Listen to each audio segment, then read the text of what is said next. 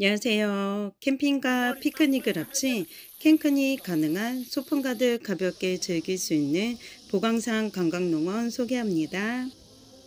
구명조끼, 물총, 아기튜브, 물안경은 무료 대여 가능하며 비눗방울, 바람개비 등 구매해서 사용할 수 있답니다. 넓은 잔디에 보강산 관광농원에서 아이들 마음껏 뛰고 놀아야죠. 캠핑 컨셉의 바베큐 식당으로 음식물과 주류는 반입 금지이며 텐트 이용료 페널티 3만원 부과된다고 하네요. 캠핑 한번 가기 위해 준비가 참 많죠. 보광산 관광농원은 준비가 다 되어 있기에 가볍게 방문하면 됩니다. 아이들 간식, 마시멜로우, 쫀득이, 라면, 야외에서 시원하게 마실 수 있는 시원한 캔맥주까지 없는 게 없네요. 오늘도 엄마는 아무 준비 없이 아무 생각 없이 신나게 놀 준비로 방문합니다. 고기 추가, 소세지, 꼬치어묵, 찌개와 밥은 말을 해야 하고요. 추가 반찬은 무료 셀프이네요. 갬성 가득한 포토존에서 사진 또 찍고 가야 되겠죠? 체크인 했으니 피크닉 좀 둘러봐야 되겠죠? 처음 방문해서 이 길 따라 쭉 내려가려는데 궁금증이 유발되는 곳이네요. 저기 보이시나요? 인디언 텐트. 와 양쪽으로 인디언 텐트로 야외 바베큐 캠크닉 가능한 곳으로 감탄이 절로 나오네요. 와 계산에 이런 멋진 곳이 있었네요. 충북 계산 가볼 만한 곳으로 많이 많이 추천해도 좋을 보강산 관광농원이네요. 넓은 잔디로 아이들 마음껏 뛰어놀아도 좋겠죠? 가끔은 도심을 벗어나 자연과 함께 숲속에서의 캠크닉 아이들 또는 부모님도 너무 좋아할 것 같아요. 캠핑 한번 가려면 사남매 아이들 짐이 참 많은데요. 아무런 준비 없이 가볍게 신나게 놀 준비로 왔답니다. 들리시나요? 아이들 신나게 노는 소리 그리고 풀벌레 소리 참 듣기 좋은 자연입니다. 한번 방문하고 하루 종일 놀 수 있는 건 아니고요. 예약제로 시간 타임으로 예약을 해야 한답니다.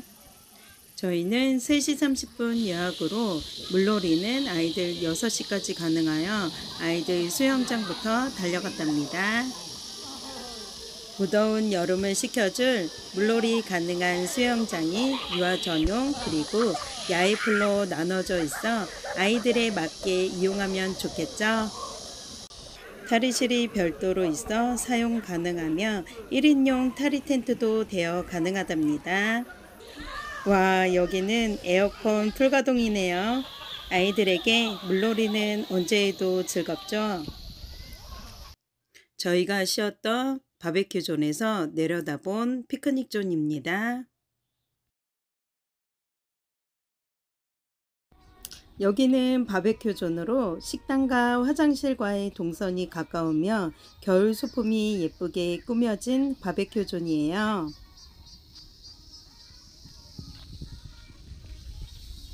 야외 바베큐 할 수 있는 갬성 뿜뿜인 이곳 가족 모임 등 다양한 모임 가능한 곳이라 더욱 매력있네요. 바베큐 숯불장과 음, 음. 식사 테이블, 쉴 수 있는 간이 침대 등이 참 잘 되어 있네요.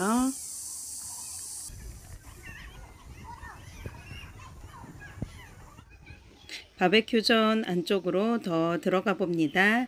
이쪽은 수영장과 가까운 인디언 텐트이네요. 2층에 바비큐장이 3개 정도 있고요.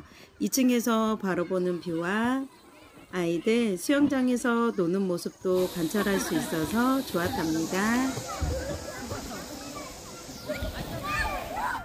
아빠 빼고 5명 방문으로 5인분 고기 주문했답니다. 우와 캠핑에는 고기죠? 고기에 솔트 양념 추가로 해주셨답니다. 바베큐 먹으면서 라면도 필수죠. 저희 사남매 아이들은 물놀이 후 먹는 라면을 제일 좋아한답니다. 짜잔! 고기 비주얼 보실래요? 고기 전문 식당으로 고기가 어찌나 싱싱하던지요. 와, 여기는 고기뿐만 아니라 새우, 감자, 단호박, 대파, 파인애플, 수제 소세지도 세트로 맛볼 수 있는 바베큐랍니다. 감성 있는 피크닉 바구니 안에는 무엇이 들어있나 한번 볼까요? 요 바구니 안에는 바베큐 기본 도구와 기본 반찬이 준비되어 있네요. 먹어서 진짜 어떤 것 때문에 못 떨어뜨렸어. 엄마 지금 물 없는데 엄마? 나간다는데. 뭐 어떤 말이야? 엄마 나 이거는 거기 꿀벌이 있는데 저기 저기 저기 저기 꿀벌이다 꿀 그래 엄마 진짜 말 굽혀주는데 오, 계란 넣고 휘저으면 개죽처럼 돼. 근데 진짜 개죽이야. 어! 어 누나 머리에 팔이 어 고기가 어디 엄마 봐봐 좀 누렇게 됐어 노랗게? 어. 저녁 먹고 보강산 관광농원 둘러보니 은은한 조명으로 감성 있는 숙소 캠핑장이네요.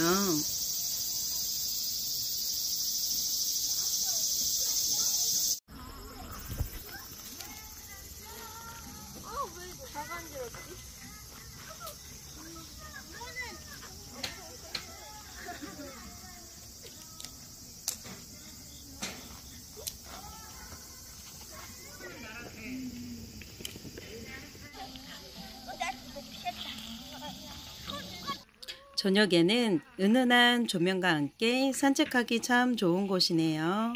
사남매 아이들과 함께한 보강산 관광농원입니다. 감사합니다.